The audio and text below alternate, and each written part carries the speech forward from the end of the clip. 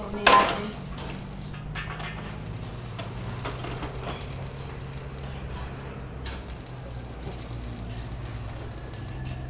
Tsaka may paupa naman yung si Rudy.